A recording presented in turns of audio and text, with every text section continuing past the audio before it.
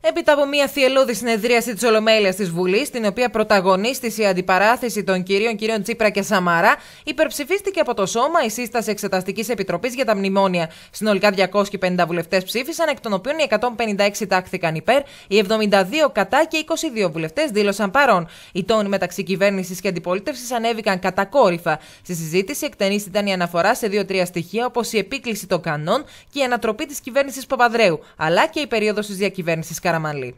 Θέλω να παραδεχθώ ενώπιον σας οι επί της αρχής πολιτικές ευθύνες έχουν ήδη αποδοθεί από τον ίδιο τον ελληνικό λαό, από την ετοιμιγορία του. Η ανάγκη όμως που έρχεται σήμερα να καλύψει η πρόταση για δημιουργία εξεταστικής επιτροπής είναι να χυθεί άπλετο φως στις σκοτεινές πτυχές αυτής της πενταετίας.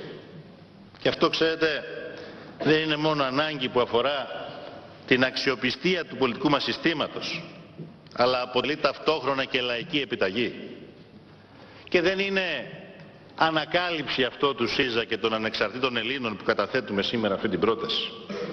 Να σας θυμίσω ότι ο ίδιος ο κύριος Σαμαράς, που πριν από τις εκλογές του 12 είχε δεσμευτεί για μία και μόνη εξεταστική επιτροπή για το μνημόνιο, γιατί άραγε τότε είχε προχωρήσει σε αυτή τη δέσμευση; Γιατί άραγε όμως την ξέχασε αυτή τη δέσμευση μόλις ανέλαβε την Πρωθυπουργία, τη διακυβέρνηση της χώρας; Δεν μας κάλεσε σήμερα η κυβέρνηση να συζητήσουμε, πιστεύω, για την Εξεταστική Επιτροπή.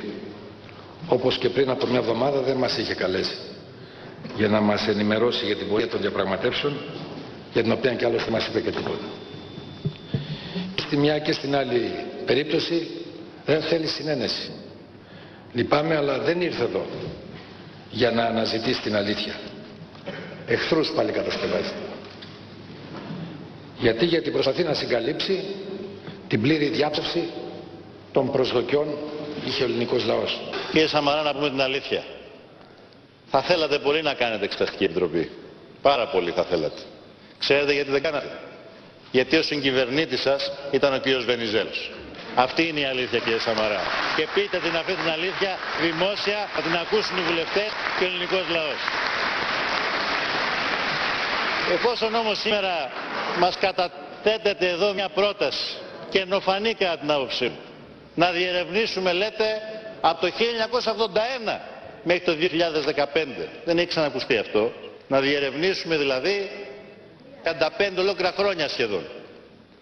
Αφού λοιπόν εσείς με την πρότασή σας συμπεριλαμβάνετε ως υποσύνολο και την περίοδο την οποία εμείς καλούμε σήμερα την Ελληνική Βουλή να αποφασίσει. Γιατί δεν υπερψηφίζετε σήμερα την πρόταση πλειοψηφίας αποδεικνύοντας ότι δεν έχετε κάτι να κρύψετε ή κάτι να φοβηθείτε, αλλά τα βγάζετε όλα στο φως και είστε ανοιχτός γιατί δεν φοβάστε τίποτα. Σας καλώ λοιπόν να υπερψηφίσετε σήμερα την πρόταση. Να υπερψηφίσετε και να αφήσετε τις υπεκφυγές. Θεωρούμε την πρόταση που υπευλήθη ένα κείμενο προκλητικό και ανιστόρητο. Δεν την ψηφίζουμε γιατί βιάζει την κοινή λογική, αλλά θέλουμε την Επιτροπή την καλωσορίζουμε, χαιρόμαστε που γίνεται. Βεβαίως και θα μετάσχουμε ενεργά και ήδη έχουμε ανακοινώσει τα θέματα που θέλουμε να διερευνηθούν και έναν πρώτο κατάλογο προσώπων που θεωρούμε αναγκαίο να κληθούν στην Επιτροπή. Πρόσωπα που έπαιξαν σημαντικό πολιτικό και θεσμικό ρόλο στην Ελλάδα, τέος πρωθυπουργοί, τέος υπουργοί, διοικητές και πρώην διοικητές της Κεντρικής Τράπεζας, αλλά και πρόσωπα που παίζουν σημαντικό ρόλο στους ευρωπαϊκούς και διεθνείς θεσμούς. Πρόσωπα με τα οποία συνδιαλέγεται και τώρα η κυβέρνηση και από τα οποία σε πάρα πολύ μεγάλο βαθμό εξαρτά την πορεία του τόπου, των δημοσίων οικονομικών, την μοίρα της Ελλάδας.